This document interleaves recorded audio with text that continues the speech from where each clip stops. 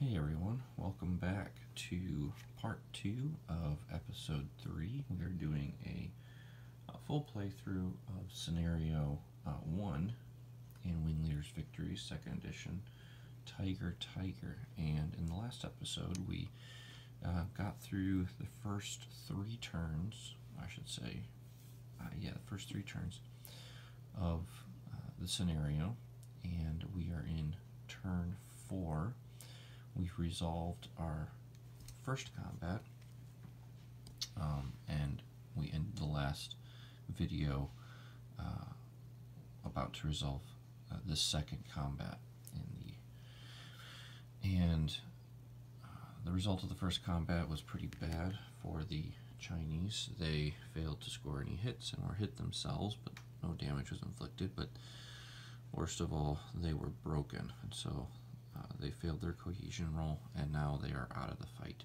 So we still have two um, good order German bomb, uh, Japanese bomber squadrons that are going to uh, score some victory points for the Japanese, and uh, if they can make it to column H and drop their bombs. And so things are not looking good for the Chinese at this point. So let's go ahead and jump right back in and let's resolve uh, this combat. Now we did something interesting with this combat, which is worth repeating again. We are going to um, use the bounce rules. I know these are in the advanced rules of Wing Leader, but to me they kind of seem like a basic rule, um, and I like adding it very early um, in these early scenarios.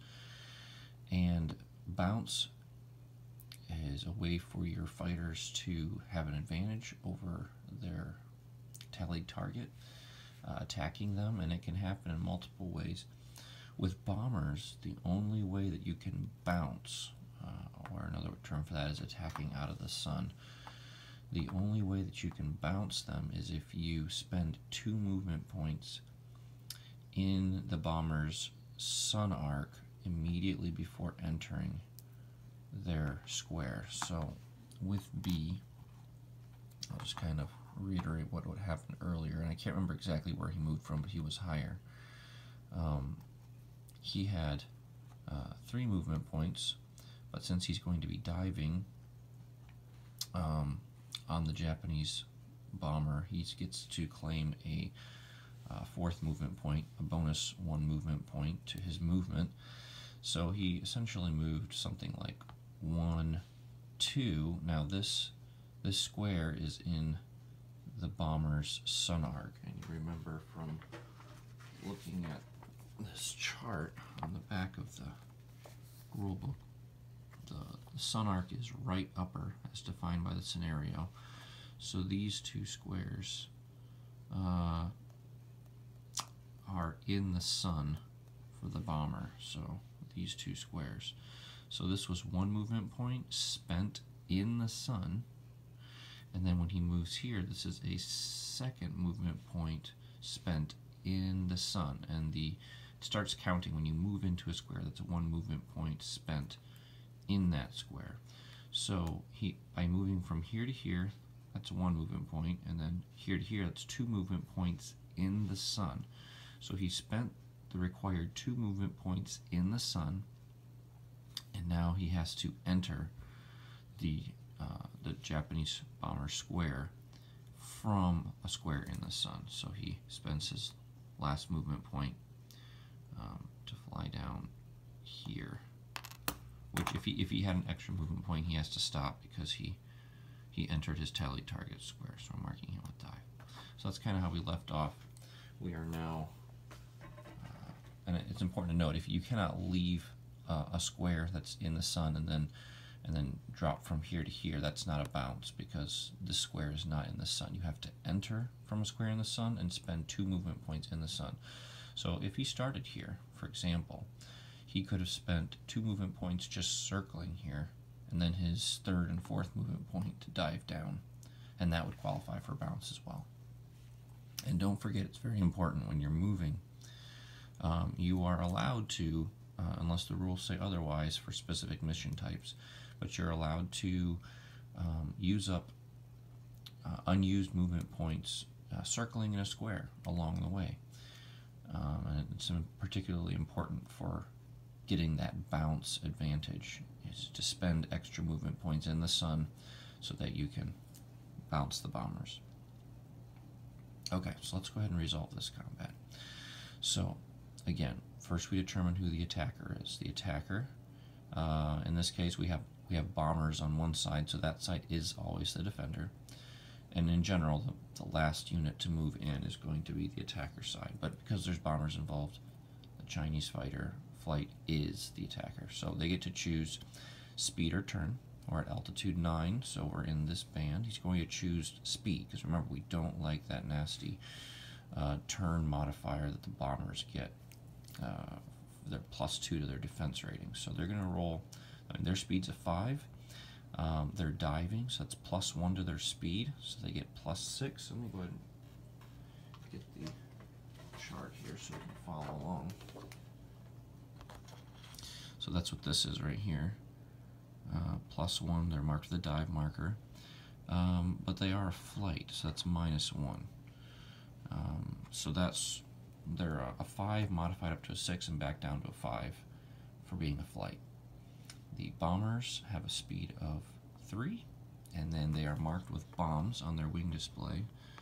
And per this one right here, they're marked with a bomb load that's minus one to their speed or turn rating. So their speed goes down to a two. So we're looking at a 5 versus 2. That's plus 3 for the Americans. That's minus 3 for the bombers. And from the last combat, this was a plus 2, minus 2 combat because the fighters were not diving. They flew in level, and they didn't have the speed advantage from the dive. Uh, so their speed was actually a 5 modified down to a 4 because they're a flight and they didn't have the dive advantage to, to counter that flight status. But these guys are diving, so they have better odds. Plus 3, minus 3. So let's go ahead. And we're going to roll for the Americans. Again, the, the, order in which you resolve these combat rolls is not important because the combat is simultaneous. So let's roll for the Americans. Yeah, that's a better roll. That is a better roll. Alright, so we got a 7. Now, if we look down here, we have uh, the attacker bounces the defender, and that's what we did by entering from the sun arc, spending two movement points in the sun, we get to bounce. So we get plus one to the roll. So this becomes this becomes an eight. And those are all the modifiers that apply. So eight on the plus three column, that is two hits. So we're going to resolve two hits against the bombers. Let's go ahead and just take care of those now. And we use this uh, losses chart so we're going to roll one dice for each hit. We're going to add the combatant's firepower of one to each of these rolls, and then we're going to compare that to their protection rating. So we got to get higher than a five uh, to kill this bomber. If we roll uh, modified four or five, it's going to be a straggler. Anything less than that is no effect. So here we go. Here's the first hit. And that's an automatic no effect, so not good. Let's roll again and that's better. A 6 is an automatic kill, even if modifiers uh, were involved or if it if their defense protection rating was a 6, this is just an automatic kill. So we'll go ahead and we'll mark that bomber. Let's see, that's bomber W, so we're going to mark him with a loss. Now let's roll the combat uh, roll for the Japanese. They're going to roll on the minus 3 column. So here it goes and they also roll a 7. But because they were bounced, attacker bounces defender, they get a minus 1 to their roll. So that goes down to a 6, and we look on this chart. No hits. Alright, so now next we gotta do cohesion. We gotta see if our fighters stick together to fight another turn. So here goes their cohesion roll and that looks good. That's 11. And they're to get plus 1 because they are because they are the attacker. They're on the attacking side, so plus 1. So that goes up to a 12. So they pass, but they do get marked with a minus 1 ammo marker. So their next cohesion roll will get a minus 1 to it. Let's roll for the bombers. Now this is hopefully going to cause some disruption. We really need to disrupt these guys. So let's roll there. The bomber cohesion. That is what we wanted. That is what we wanted. So that's a 4. And on the cohesion table, the bombers use this column right here. So total losses, well, it just got 1, so that is minus 1. And so that goes down to a 3, and that's all the modifiers that apply. So on a 3, we do score one level of disruption. Now you notice that for fighters, it's possible for them to score two levels of disruption in cohesion hits on themselves like after combat. They can break, a squadron can break if they roll a three or less.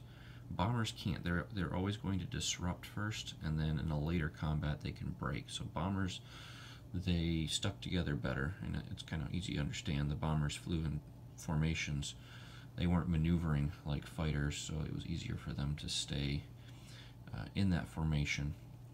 So it was a slower, slower, harder process to break them up. So one level of disruption for the bombers. That is what we needed. All right, get the Chinese back in the game here. All right, so that is the end of combat.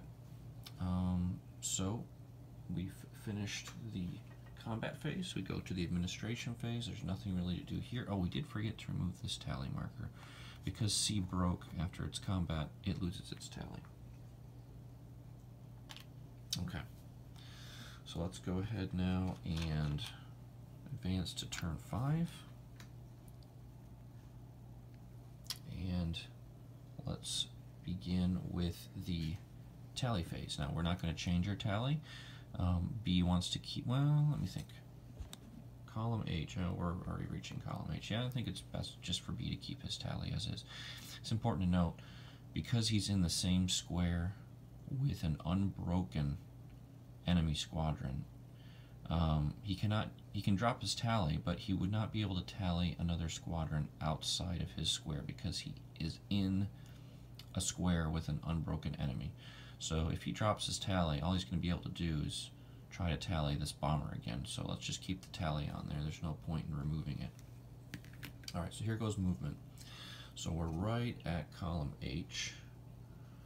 So this bomber is going to spend one movement point. He's at column H, so he drops his bombs. So let's just get rid of this bomb marker. We'll just stick it down here for now. And then for his second movement point, he's going to turn 180 degrees like this. Remember, a, a facing change of 180 degrees does cost one movement point. So he went one and then turned around for two. And that's going to trigger this guy's movement. Um, so let's go ahead and move him now before we move this bomber. This tally marker with him. Now, I am not just going to run in an attack again. I'm actually going to have B climb up because we need to set ourselves up for another diving attack. Um, you got you got to realize that with flights are very fragile, as we saw with these guys. They're likely only to get one or two combats, so you want to make those combats count. The, before the cohesion rolls send them home. So uh, try to set up the best combat situations and use your flights and squadrons as very precious resources. Use them when you really need to and when the situations are best, but don't just throw them in the combats needlessly because their your cohesion rolls are going to send them packing and they won't do as much effect. So we're going to have B, rather than follow after W, they're going to climb. Let's see, we're at altitude 9, so this is going to cost 2 movement points at altitude 9 to climb one. So he's going to change facing. And we'll just rotate up like this. Now that's not 180 degrees, so that's a free rotation. And then he's going to fly straight up. Come on, straight up. For two movement points, he's got one more movement point. We'll just go ahead and have him circle here. Uh, actually, no, we'll have him rotate to face this square for free and then fly here. So, one, two, three. Now, why didn't I just go from here? Well, yeah, it's the same thing, essentially, because it costs one movement point to rotate 180 degrees and then fly up for two more movement points. So whatever, that's fine. We'll flip this to the climb side. Um, this squadron is going to fly one, two, and he's going to drop his bombs, so I'll take those off the wing display. And then C, he's broken, so he's going to fly home. There's no point in actually flying him home. He can just be removed because there's nobody that can engage him again, so we're just going to take him off and put him on his wing display. Cleans up the board a little bit. Alright, that's the end of that turn. There's no combat. So we go to turn six. So here we go, turn six. Let's go to the tally phase again. We're going to keep the tallies as they are. I'm going to go ahead and harass these bombers as best we can and try to get as many losses as possible. There's no advantage to attacking this guy now because he's already dropped his bombs. He's gotten his points um, from doing so.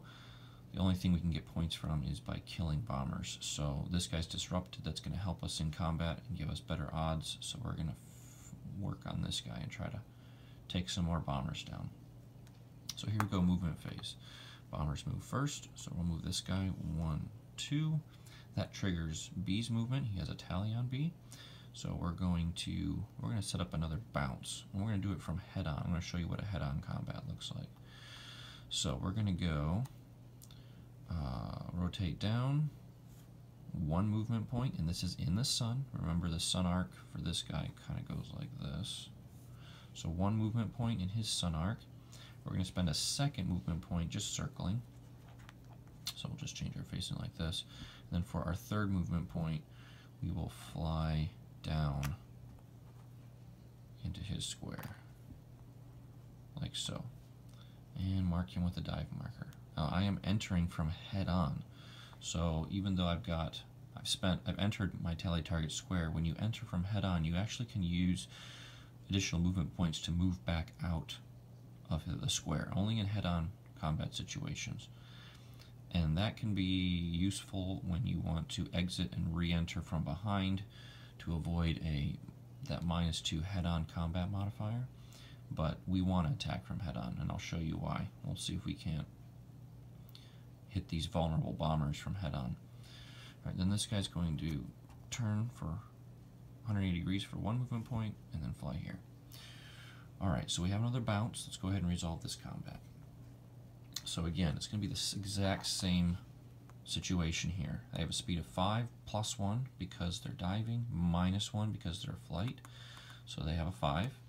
The Japanese, let me go ahead and just put this up here so we can see. The Japanese have a speed of 3 they no longer have the bombs. They dropped those, so they're just a 3 now, but they're disrupted. So, minus 1 to their speed. They're now at 2. And it's important to note, we have to use speed combat in this situation because we are entering, we have a head-on combat situation. These three squares are ahead of this bomber. They're the, the, the forward three squares. So if I enter from one of these three squares, it is a head-on combat situation or a head-on situation. So we have to use speed. So speed of 5 versus 2. 3 minus 1 for disrupted is 2. Um, so here we go. We're going to resolve this combat. And we'll go ahead and we'll roll for the for the Americans first again we need a big roll here. Hmm, well, that's okay. Alright, so we got four, five, six, seven. And this is a head-on combat, so that's minus 2 to the roll. That seems really bad, but we bounced, so that kind of makes it a little less worse, so plus 1, so it's actually just a net minus 1. So that goes down to a 6. Okay, So we roll a 6, so we're still on a plus 3. So that is one hit. So we have one hit on the bombers. Let's go ahead and modify or roll for losses check. Now, notice that this bomber has a protection rating of 4, 5, H, and that H means they're vulnerable to head-on. So, I'm going to get a plus 1 to firepower because this is a head-on combat and the target has a protection H. So they're vulnerable to head-on combats. So we're going to roll 1d6. We're going to add 1 for the firepower, the P40, but plus 1 to the firepower because of this H, and we're attacking head-on. So we're going to get plus 2 to this roll. That's going to help us overcome that big protection rating. Haha. Okay, so 5 plus 2 is 7. That's higher than the protection rating, so that is another kill. It's nice when things work out the way you want them to. Alright. That's another kill on the bombers. Let's go ahead and roll for the Japanese on the minus 3 column. They roll a 5, and I won't even show you the modifiers. That's a miss. Minus 2 for head-on and minus 1 because they're bounced. No hits for them. Now cohesion. Here we go. This could be the end for the American fighter. Let's go ahead and roll their cohesion for the American P-40s. And that's bad. Okay. So 4 plus 1 because they're on the attacking side, but minus 1 because they are marked with a low ammo marker. So it's a 4. 4 is one level of disruption. They are a flight, not a squadron, so they break after one level of disruption. So there we have it. And we can go ahead and roll Japanese cohesion, even though it's not going to matter, but let's just go ahead and do it for kicks. Yeah, 11 minus 2 for two losses. No disruption for them. Okay, so here we have it. This is the end of the scenario. The Americans are going to fly home, and they are I'm going to come back and tell some tall tales about shooting down a bunch of Japanese bombers, but they only shot down two. So, that's how it goes. Alright, let's go ahead and see how we come up with the victory conditions. So, alright, at the game end, total each side's victory points for losses. Oh, for losses only. Okay, I failed to see that earlier. Um, all right, so for losses only, we're not we're not going to give them the plus six uh, victory points that a bomber typically gets for dropping its bombs, because this is a, this kind of has modified victory conditions. So, Americans shot down two, or I should say the Chinese shot down two bombers. Each of those bombers is worth two victory points. So that means the Americans have four victory points total. But if we look down here, uh, in addition, the Chinese score 4 VPs for each KI-21 squadron that is broken before reaching column H when they drop their bombs, or 2 VPs if the squadron is disrupted. So we actually disrupted that W squadron before it reached column H. So that's another 2 victory points. So we scored 4 victory points for air kills, 2 for each bomber, and then 2 more victory points for disrupting them before they reach column H. So that's six victory points total. The Japanese score zero victory points for air kills. They did not shoot down any of the P-40s, so that's a net. So subtract the Japanese VPs from the Chinese VPs to see who wins. So Japanese had zero, Chinese had six. Six minus zero is positive six. It's a draw. Ah, that's a that's too bad. We were so close. If uh, if Squadron C could have uh, either disrupted these guys or scored a loss, that would have been a victory for the Chinese. So there you have it. That is scenario one. Uh, fairly easy to meet those victory conditions, and it's a good scenario to kind of learn the basics for movement, tally, combat, and there's no opposing fighters to uh, add some complexity. But scenario two, uh, we kind of have a similar situation with these bombers against these P-40s but we're going to add in some Japanese, some Japanese fighters, and so this is going to make things a little more interesting.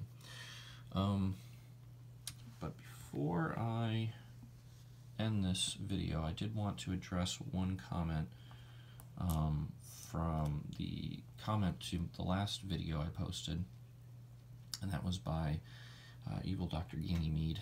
Um, he uh, made mention of something that happened in turn two, I believe, um, about me doing some metagaming, and I'm not, I'm kind of new, I'm not very familiar with the term metagaming, but I think what he's talking about is kind of uh, being gamey or using tactics that don't seem fitting for what this game represents. And so I'll kind of try to uh, reset up what he's talking about.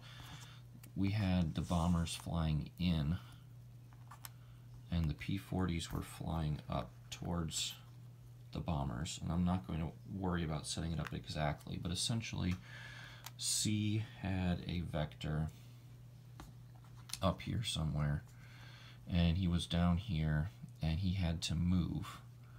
So I had him climb uh, one, two movement points to climb here, and he had one more movement point. But since he satisfied the uh, the requirements for moving closer to his vector and climbing one elevation, he doesn't have to spend that third movement point flying closer. He can actually stay put. And I had him circle and spend his last movement point here, and as part of that circling, I just kind of changed his facing to face this way so that, um, well, it didn't really make a difference here because my tally opportunities, I could only tally X. But let's just say, for example, for example, let's say his tally was over here, and I had this guy climb up here, and he still doesn't have a tally, right, because his vector's on the map. So he climbs up here for two movement points. He's got one more movement point, and he's in a pickle because next tally phase, all the enemy squadrons are behind him. They're in, well, actually, since he's rotated like this, all of these squares are behind him. He's going to get a minus two to his tally roll. That's really bad. So I, I, I had him flip his facing for his final movement point to face this way to avoid that. Or, or I mean, I guess I could have just had him face straight up like this. Okay. Um, to have him so that these squares are not behind him. Just trying to avoid that minus two uh, tally modifier. Now, did I cheat? Did I, and, and the term, well, it's not cheating. It's not the question that Evil Dr. Ganymede was was bringing up. Was I metagaming? Was I doing something unrealistic, right? Because they're moving towards their vector, so you would think that their focus and their attention is in this direction, and they're missing the bombers. Yeah, and you can play that way, and that's totally right. Um, if you, uh, and I guess it comes down to your style of play. If you like to go for, well, if I were these pilots, I wouldn't be thinking about behind me because my vector is still in front of me. Um, and so this may seem a little gamey. It's not cheating. It is using the rules legitimately. I can go ahead and change my facing like that for my last movement point to set up a better tally opportunity. But some people may say, eh, I don't think that, you know, that seems like it's bending the rules in the direction they weren't supposed to go. Well, I don't think so. I like to explore the the rules uh, and see what kind of strategy choices are available to the player, and this is a valid strategy choice. Having satisfied my climb and move closer requirements, I'm spending my last movement point to face this way. Now, can I justify this in game terms? Well, maybe. And uh, for the way my mind works, I'm going to say these pilots are getting closer to their vector. They know the bomber's around here somewhere. And remember, I it's good to think of facing as not just the direction the aircraft are facing, but where their attention is. So they could still be flying this way, but their attention is kind of looking behind them. The pilots are getting an easy, did we miss the bombers?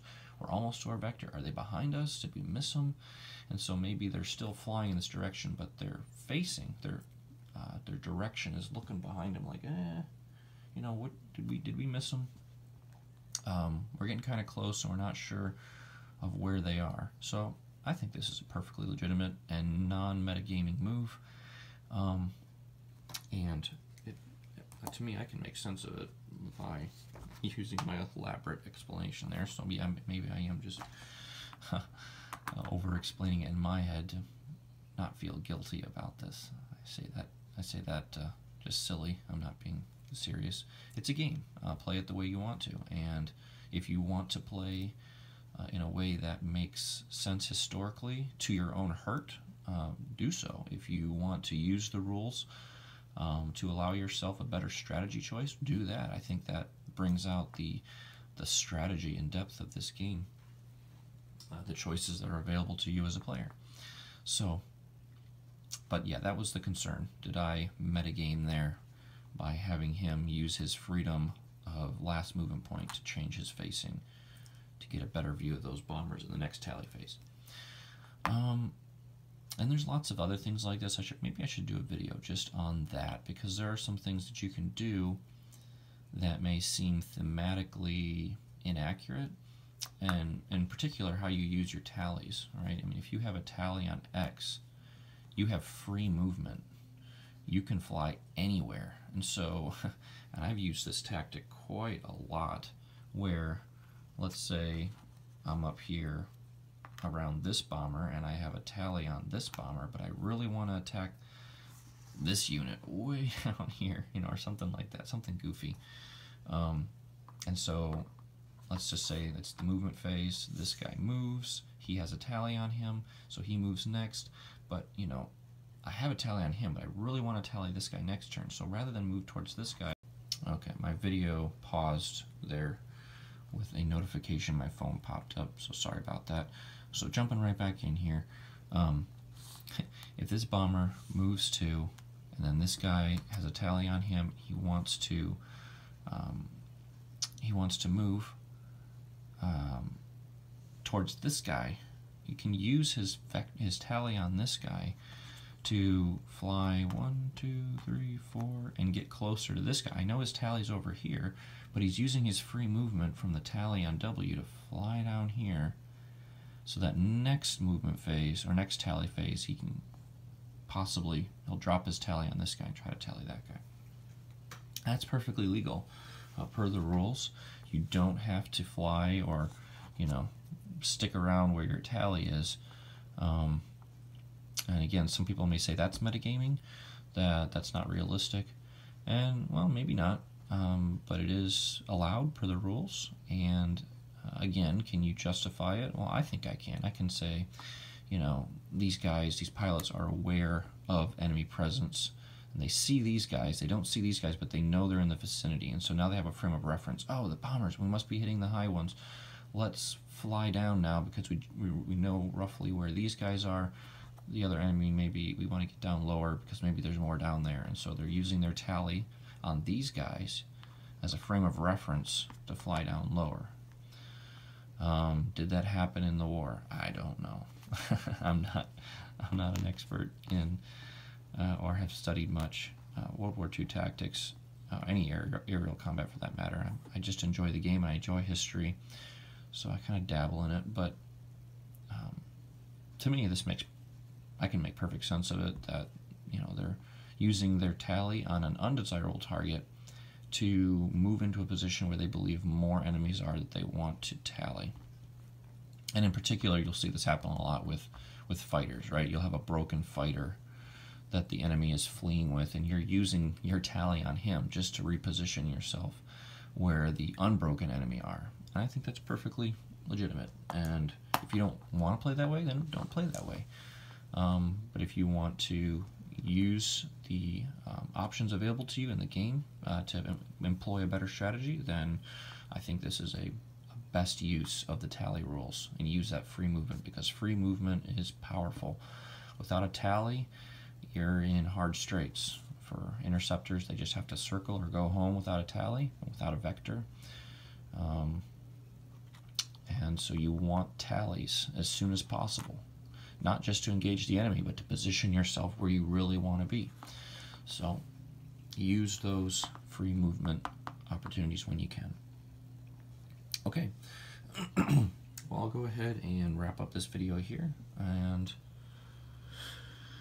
next time maybe we'll delve into scenario two, birthday present. But um, go ahead and put in the comments if you want to see something different. Uh, give me a give me a suggestion.